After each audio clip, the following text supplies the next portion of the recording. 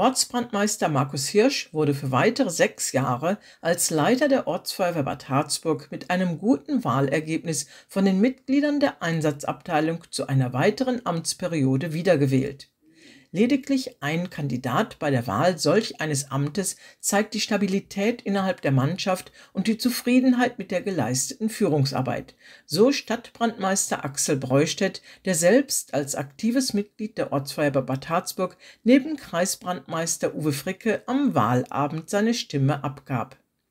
Die Wahl ist eine Vorschlagswahl und Markus Hirsch wird auf einer der nächsten Ratssitzungen offiziell vom Rat der Stadt Bad Harzburg für sechs weitere Jahre zum Ortsbrandmeister und Ehrenbeamten ernannt. Am Samstag, dem 19.06., wurden kurz nach 16 Uhr die Ortsfeuerwehren Bündheim-Schleweke und Bad Harzburg zu einem Kellerbrand eines Mehrfamilienhauses in den Hopfengarten im Stadtteil Bündheim alarmiert. Vor Ort konnte eine starke Rauchentwicklung festgestellt werden. Sofort wurde eine Brandbekämpfung eingeleitet, zeitgleich wurden alle Wohnungen nach Bewohnern abgesucht. Parallel dazu wurde die Drehleiter aus Bad Harzburg in Stellung gebracht, um hierüber gegebenenfalls Personen aus den oberen Stockwerken retten zu können. Durch die Feuerwehr wurden zwei Personen gerettet, sieben weitere Personen hatten das Gebäude bereits eigenständig verlassen. Nachdem eine Behandlung der betroffenen Bewohner durch den alarmierten Notarzt nicht notwendig war, wurde bis auf einen Rettungswagen zur Absicherung der Feuerwehr der Rettungsdienst aus dem Einsatz entlassen. Nach circa 45 Minuten konnte vollständig Feuer ausgemeldet werden. Um ein mögliches Wiederaufflammen der Brandstellen zu verhindern, wurde der Kellerbereich noch mit einem Netzmittel benetzt, danach schlossen sich umfangreiche Belüftungsarbeiten an und der Keller wurde durch die Stadtwerke stromlos geschaltet. Nach rund zwei Stunden wurde die Einsatzstelle an die Polizei übergeben auf der Stadtkommandositzung am Montag, dem 21.06., wurde Markus Sass von allen fünf Ortsbrandmeistern und ihren Stellvertretern zum neuen stellvertretenden Stadtbrandmeister der Feuerwehr Stadt Bad Harzburg gewählt. Er tritt damit die Nachfolge des vor kurzem verstorbenen Andreas Liebau an und wird zukünftig gemeinsam mit Stadtbrandmeister Axel Breustedt die Feuerwehr der Kurstadt leiten und führen. Auf einer der kommenden Sitzungen des Stadtrats wird Markus Sass dann offiziell vom Bürgermeister der Stadt Bad Harzburg zum neuen stellvertretenden Stadtbrandmeister für die kommenden sechs Jahre ernannt.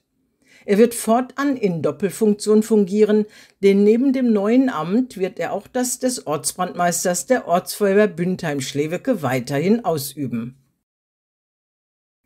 Der Landkreis Goslar hat in Kooperation mit der evangelischen Familienbildungsstätte des Landkreises Wolfenbüttel sieben neue Kindertagespflegepersonen qualifiziert. Der Kurs startete am 1. März 2021 zunächst online und konnte im Mai als Präsenzunterricht unter strengen Hygiene- und Abstandsregeln fortgesetzt werden. Die Qualifizierung umfasste 160 Unterrichtsstunden sowie 40 Stunden Hospitation bei einer erfahrenen Kindertagespflegeperson und endete mit dem Abschlusskolloquium am 15. Juni.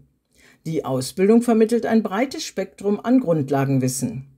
Der nächste Qualifizierungskurs für Kindertagespflegepersonen startet voraussichtlich im Frühjahr 2022. Hierfür sucht der Landkreis Goslar geeignete Personen, die gerne als Kindertagespflegeperson tätig werden möchten.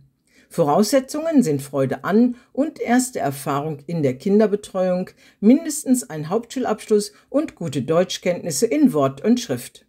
Weitere Informationen und individuelle Beratung gibt es bei Heidron Herda telefonisch unter der Telefonnummer 05321 76456 oder per E-Mail unter h.herder.landkreis-goslar.de. Der Fachdienst Straßenverkehr der Stadt Goslar hat eine neue Kampagne unter dem Leitspruch Goslar gibt acht gestartet, denn Radfahrer werden beim Abbiegen häufig übersehen, aber auch zu dichtes Überholen oder Fahren ohne Helm kann gefährlich werden.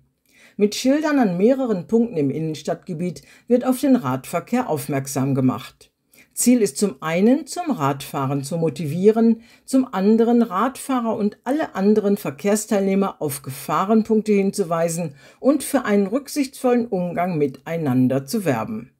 So lenkt das Motiv mit dem Titel Gebt acht an der Kreuzung Okerstraße Reiseckenweg aus Richtung Altstadt die Aufmerksamkeit aller rechts abbiegenden Fahrzeugführer auf Radfahrer, die geradeaus fahren und dazu die Straße überqueren. Gegenüber in Richtung Breites Tor erinnert ein Piktogramm mit dem Text Goslar nimmt Rücksicht an das faktische Überholverbot in den engen Altstadtstraßen, das sich dadurch ergibt, dass der geforderte Abstand von eineinhalb Metern nicht eingehalten werden kann.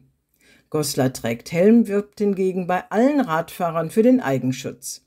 Wer durch die Innenstadt fährt, wird in den kommenden Tagen weitere Schilder wie Goslar fährt fair oder Goslar strahlt entdecken.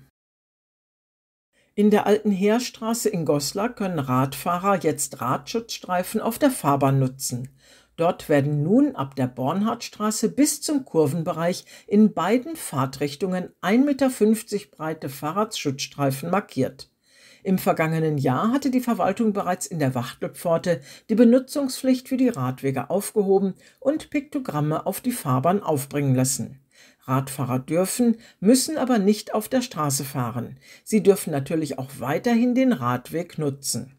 Die Verkehrsforschung besagt, dass Radfahren auf abgesetzten Radwegen, ganz besonders entgegen der Fahrtrichtung, gefährlich und eine der Hauptunfallursachen zwischen Rad- und Kraftfahrzeugverkehr ist. Besonders bei Ein- und Ausfahrten bzw. beim Abbiegen werden Radler schnell übersehen und umgefahren. Fahren sie hingegen auf der Straße, sind sie besser sichtbar.